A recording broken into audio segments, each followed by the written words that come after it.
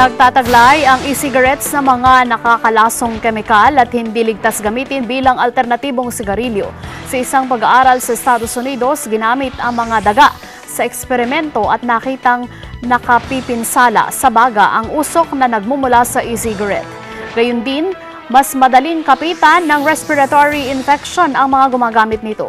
Natagpuan din ang uh, free radical toxins na kapareho sa usok na nagmumula sa totoong sigarilyo. Paliwanag ng eksperto kabilang sa epektong dulot ng e-cigarette ay ang pamamaga at pagsira sa protina sa katawan.